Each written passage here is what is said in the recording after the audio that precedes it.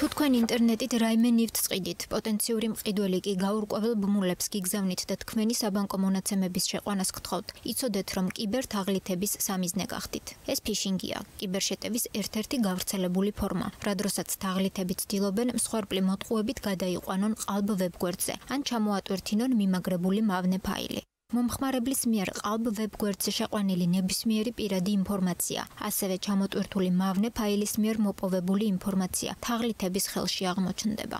როდესაც თქვენ განთავსებული გაქვთ ნივთი ამა თუ იმ ადგილას რომ გაყიდოთ, თქვენ არც ერთ შემთხვევაში არ უნდა მიაწოდოთ ინფორმაცია თქვენი ინტერნეტ ბანკის username-ით და password-ის შესახებ, ანუ იმ მონაცემების შესახებ, რომლითაც ახდენთ ავტორიზაციას, არავითარ შემთხვევაში არ უნდა მიაწოდოთ ინფორმაცია თქვენი ბარათის შესახებ, ასევე კიდევ ვითხოვენ ხოლმე ინტერაქტიულად SMS, რომელიც მისდის მომხმარებელს. ეს არის გასაღები, რომლითაც თქვენ აიდენტიფიცირებთ თავს ბანკთან.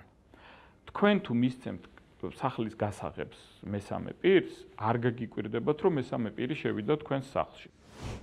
ბოლო დღეებში კიბერთავდასხმები სოციალურ ქსელებში განხილვის თემაა. კიბერშეტევების ახალი ობიექტი კი ონლაინ ვაჭრობის საიტი MyMarket-ია. ვებგვერდზე გამაფრთხილებელი ბანერის მიუხედავად თაღლითების მსხვერპლი არაერთი მომხმარებელი გახდა. დაზარალებულებთან დაკავშირება უმეტესად Viber-ის ან WhatsApp-ის საშუალებით ხდება. საბანკო ბარათის მონაცემების გამოძალვის შემდეგ კი თაღლითები მათ ანგარიშებიდან სოლიდურ თანხებს პარავენ.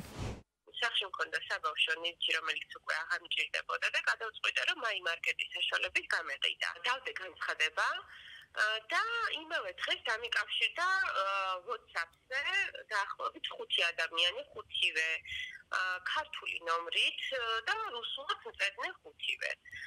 აა უბრალოდ დაინტერესების კუთხით და ერთ-ერთი გამომყვა ესე რომ თქვა ანუ კიდე დეტალურად გამომკითხა ყველაფერი. რომ ჩამიგდო ლინკი იყო DHL-ის ლინკი. შევიყვანე პარადის მონაცემები და უბრალოდ გადამაჩინა იმან რომ შევავსე იმ კონკრეტულ პარადზე თანხა არ მქონდა სხვარპლის ადვილად მოსატყუებლად თაღლითები ერთმანეთს მათთვის სასარგებლო ინფორმაციას უზიარებენ. მაგალითად, რომელ ქვეყანაში როგორი სქემა მუშაობს ყველაზე კარგად. ციფრული მარკეტინგის სპეციალისტი ამბობს, რომ ფიშინგისგან თავის დასაცავად არ უნდა გავხსნათ საეჭვო ბმულები. გამოვიყენოთ ორფაქტორიანი დაცვა. ვიყოთ ყურადღებით და საბანკო მონაცემები არავითარ შემთხვევაში არავის გავანდოთ.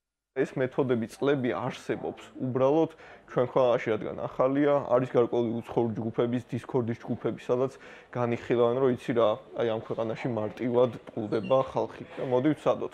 და ეს სქემები უფრო და უფრო იმატებს. არ გადავიდეთ გარკვეულ ლინკებზე, გამოვიყენოთ მაქსიმალური უსაფრთხოება, დავაყენოთ ორფაქტორიანი დაცვები. უცხო პეიჯებზე არ შევიდეთ, დავაკვირდეთ HTTPS სერტიფიკატი თუ აქვს ვებსაიტი, სადაც ბარათის მონაცემები შეგვყავს. მარტივად რო გიხსნათ, ეს არის პატარა ბოქლომი, რომელიც ლინკის დასაწყისში არის.